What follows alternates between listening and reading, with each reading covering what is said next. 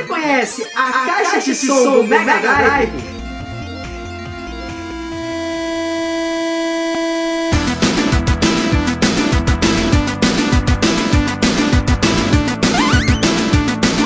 Brasil!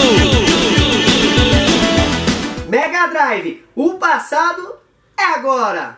Bom, galerinha, apresento para vocês hoje a caixa de som do Mega Drive, cara. Também conhecido como Sega Speakers ou Sega Spikers, ou o nome traduzido Oradores do Genesis, né? Oradores da Genesis, né? Também conhecido também como caixinha de som do Mega Drive, né? E é, enquanto eu vou falando para vocês a história desse acessório, eu vou mostrar algumas cenas aqui que eu preparei e com mais detalhes. Então, segue o fluxo.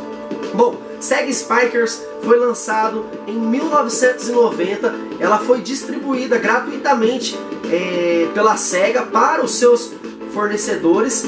E aí era, foi feita assim, uma promoção.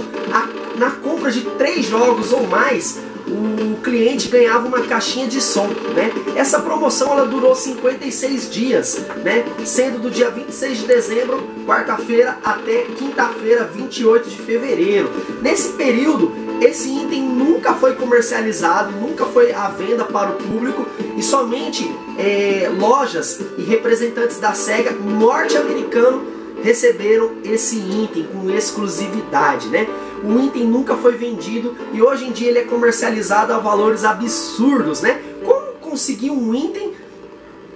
Como conseguir um item que ninguém tem? Conseguir um item que não foi comercializado. Esse é um dos maiores desafios de todos os colecionadores né, do mundo inteiro, de várias plataformas. Todo mundo vai ao encontro do mais raro, mas encontrar algo que nunca foi vendido é um desafio muito mais é, audacioso, né? E nós vamos ao encontro do mais raro. Uma outra curiosidade é que o Sega Spikers, né? Como vocês podem ver agora na caixinha, ele vem numa caixa, né? O tamanho da caixa é, só cabe as caixinhas de som e detalhe, ele não vinha com fonte, você tinha que comprar uma fonte paralela né, de 6 volts, é uma fonte que foi chata para achar, inclusive o negativo é do lado de fora, né? vale ressaltar isso também, mas sem dúvida é um dos itens sensacionais.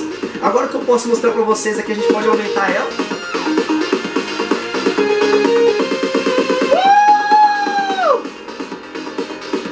E abaixamos aqui.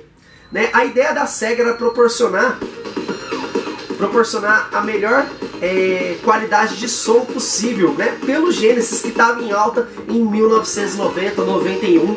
Então emoções fortes podemos sentir aqui nesse console a Sega pensando no consumidor, né? Deu de graça para distribuir e hoje é vendido a preços altíssimos. Né? Você não encontra uma dessa por menos de 500 reais quando você encontra as condições não são tão boas, né? E a minha tá completa na caixa, mano. Emoções fortes podemos sentir aqui. Perfeito! Aumenta